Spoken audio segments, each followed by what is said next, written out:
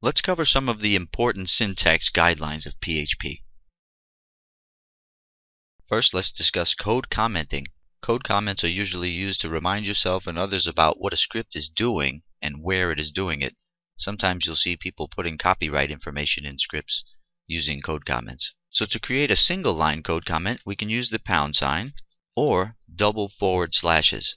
To make a multi-line comment in PHP, we use forward slash star and then you can put a couple of spaces and then another star and forward slash and that closes that multi-line comment.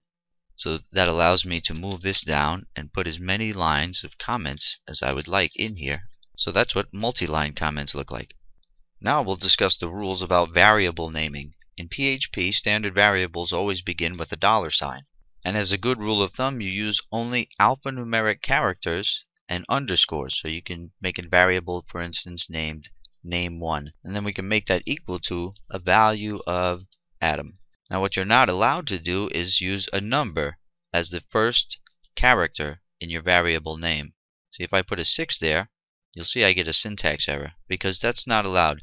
You cannot use a number to start your variable names or your function names. So if I name this var1, that's a good way to also describe it to myself.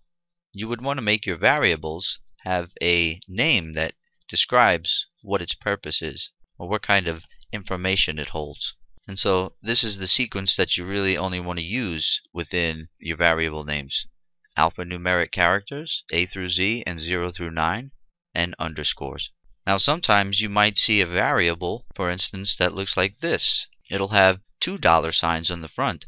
Let's say that variable name was x. In that case, this variable that you see here is being dynamically named using this string. If I change this to Khoury and then I echo Adam. So you see, I'm echoing a variable that hasn't even been created here in the variable side.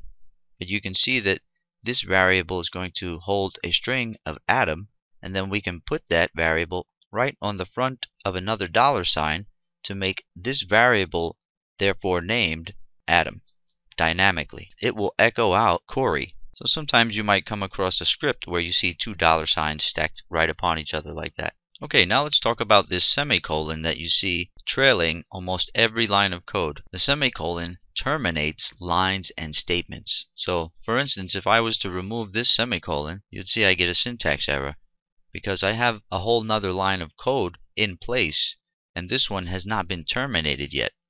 So I have to have that semicolon in place to let PHP know that I intend to stop that line right there and there's no more processing for that particular line. But if I remove the last one and it's the last line of code within the script, I'll have no problems at all. But you just want to keep your semicolons there for all of your lines that you intend to terminate. Now you could also do something like this to where the semicolon is down here or even way down here. But just as long as there's nothing in between it. And what'll happen is PHP will keep processing until it hits a semicolon and that way it knows to stop processing that line or that certain bit of logic and then go on to the next line and begin processing. PHP is also case sensitive, meaning that if this variable was named var and this one had a capital V in its name, they would be two separate variables or two separate string objects. Now let's talk about string concatenation and joining string data. And if you're used to working in JavaScript, you'd know that's done with the plus symbol. In PHP, it's done with the period. So let's put an echo statement in place to output some content to the browser. And strings always go in between quote marks, and you can use double quotes or single quotes. If I want to use single quotes here, that's just fine. Or double quotes works also. So I'll type in the user name is space, and then outside of my double quotes, I'm going to put a period. And then I'm going to take this first name variable and I'm going to put it next to that period. And that will append the value of Adam to that string, or concatenate. And then if I want to continue, I just put another period and then continue my string, comma, the surname is space, and then I can just put in the other variable, last name. So the output of that will be the username is Adam, the surname Actually, it'll make more sense if you put the first name is Adam, the surname is Khoury. And it also works that way with the period if you want to compound variables. For instance, if I start a variable called list, and I make that equal to a value of, say for instance, HTML, and then I put a break tag in there to make a new line. What I can do is take that variable and right under it all I have to do is put dot equals and that will compound or append to that same variable and I can put CSS right here. And you can continue on. And as long as you have a dot before the equal sign, this list variable will contain all of these things. That way when you echo the list variable, the user will see a big list of items or a whole bunch of data that you wanted to compound and append into the original list variable. Now let's talk about escaping characters with the backslash. And in most instances, when working with strings and variables especially, you would use backslash to escape the quote marks that you want to display in the string when they're encapsulated by the same kind of quote mark. So let me show you what I mean. Let's make this variable named string1 and this variable named string2. So you can see my string is encapsulated in double quotes here. Now I'll type in a sentence. Joe's kitchen. But let's say I want to have the apostrophe here, the quote mark, the single quote, where it belongs. That will work just fine because I have this encapsulated in double quotes. But what if I was to take that same sentence and put it in string variable 2 and encapsulate that string using single quotes?